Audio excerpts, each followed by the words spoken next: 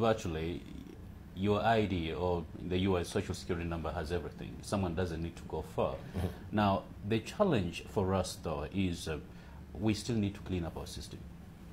Because part of the challenge is we have individuals who, uh, right today as we speak, they have Kenyan passports and Kenyan IDs. Yes. Who actually shouldn't be having them. And, and so if we, we can do DNA, of course, it's going to be an extensive process. First of all, we need to build capacity Yes. to be able to do that. It takes you know quite a few resources.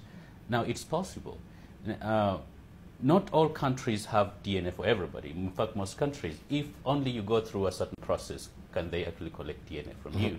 And of course, uh, there are certain legal requirements that have to be made for you to do that.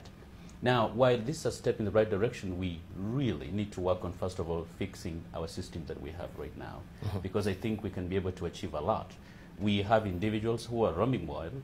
Uh, we have sometimes people who, who are supposed to be serving Kenyans and they're being paid by taxpayers, but who are compromising themselves.